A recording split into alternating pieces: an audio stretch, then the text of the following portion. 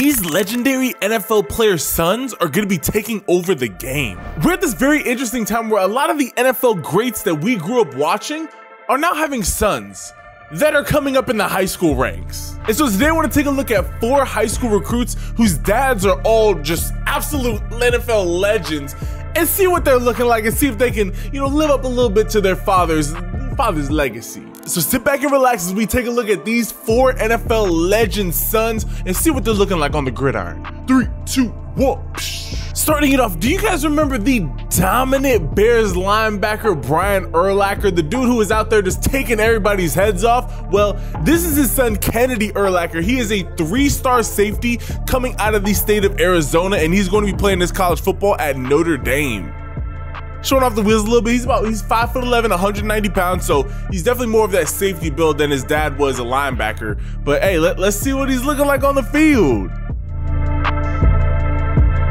Let's see if he's got that same hidden power. Oh yeah, he's definitely still got that same hidden power. Let's go. Okay. Oh, and then dropping back. Thank you. That's a duck of an interception, but hey, we'll take all those.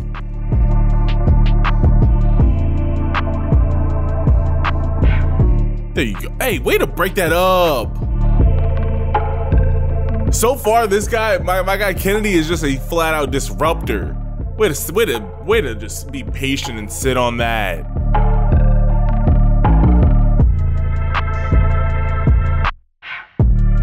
Like how much with how much tenacity that he comes downfield. I want to see him work a little bit more on that first step quickness as far as the second that he sees that really jumping out there and going and getting after it. But other than that, I mean, this kid, he's definitely got a lot of upside. I think he has a promising career at uh, Notre Dame.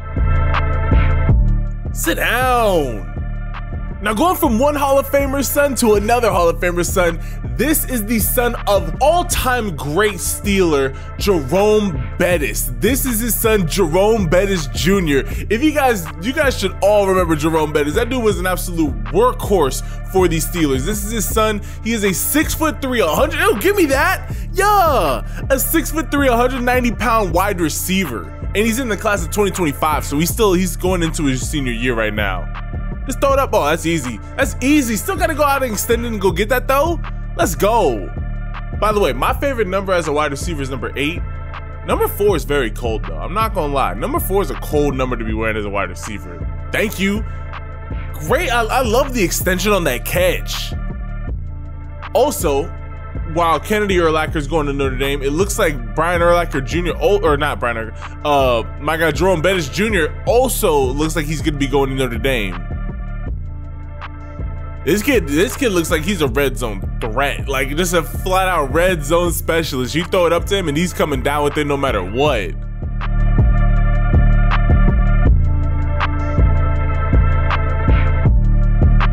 All right, good to see him on defense as well.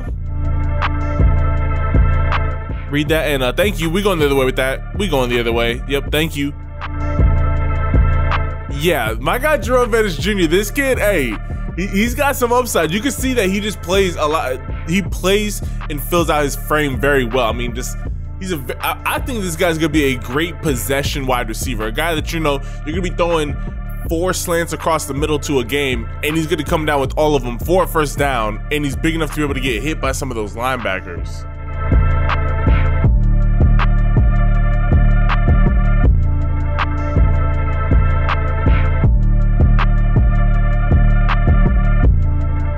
And now we have the son. This one's a little bit sad, but we have the son of former Bengal great wide receiver Chris Henry. This is Chris Henry Sr.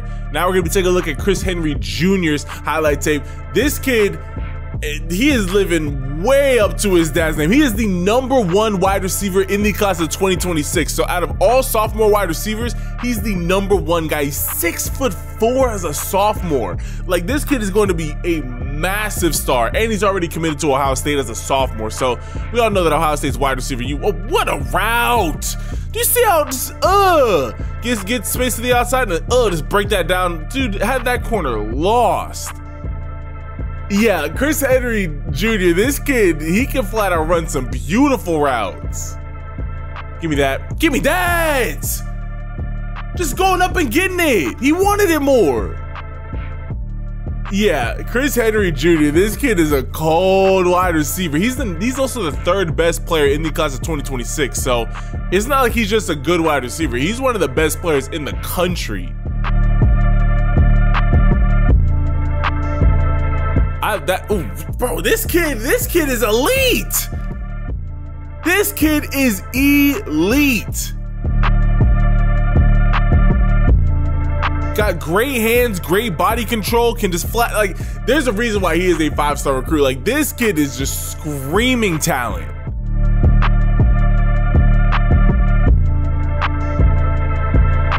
Keep on working across the middle. Find the soft spot. There you go. Yeah, and you already know Ohio State's gonna turn him into an absolute star.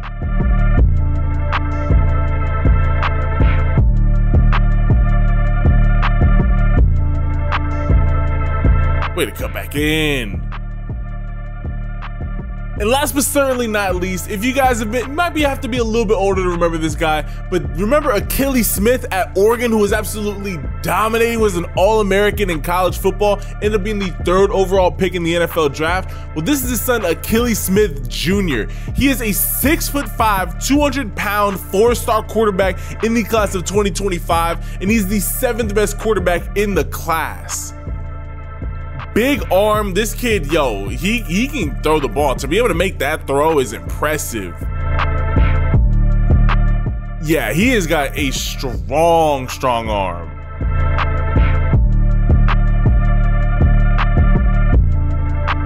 Would love to see him clean up his mechanics a little bit. They're just like overall, like I think his technique needs to be polished up a little bit. But I mean, you're not making a throw like this. I mean, he's throwing this from the 25, 5, 10, 15, 20, 25, 30, 35, 40, a 40 yard rope to the sideline. Like that's a dot right there.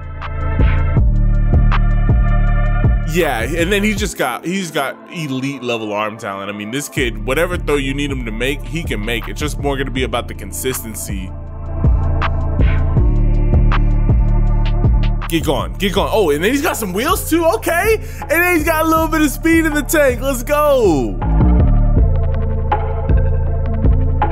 Let it fly. Yeah. I see Akili Smith. Yo, he there's a reason why he's one of the best quarterbacks in the class of 2025. So those are four NFL legends whose sons are now dominating the high school ranks. I think that, hey, out of all of them, it's quite clear that Chris Henry Jr. is the most talented out of all of them. I think that he has potential to even be better than his dad. Like that level of route running, and I misspoke. He's actually six foot five, 185 pounds. This kid is huge as a sophomore he has all the upside in the world. But I want to hear out. Who are you guys? First off, we, we brought up some old names in the football space. Who are you guys like? Oh snap! Like that, like that was a cool little flashback to hear their name. Uh, for me, that was Brian Urlacher. I was like, bro, Brian Urlacher's son's playing. Brian Urlacher, that dude, I used to watch a lot of Bears games, and that he was just absolutely flying around, just taking everybody's head off. I want to hear from y'all though. Comment your thoughts down below. Leave this video a like and hit that subscribe button and turn on your notifications. We drop videos each and every single day. It also helps more than you will ever be able to understand. We're trying to get to 260,000 subscribers. So if you want to be that 260,000 subscriber, hit that subscribe button right now. I love and appreciate all y'all. If nobody has told you this today, you matter. Know that you mean more to this world than you will ever be able to understand. I know that it can be hard sometimes to go through life and, you know, we get caught up in the, oh, you know, oh, yeah, I gotta go to work, I gotta go to school. And then you just kind of get caught up in this routine and you never really take a second to self evaluate.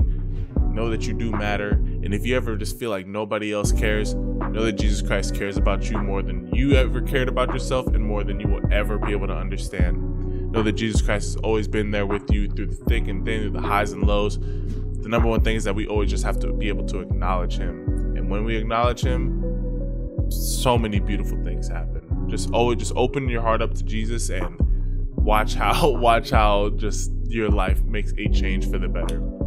Love and appreciate all y'all, and I will catch you guys in the next video. Ciao.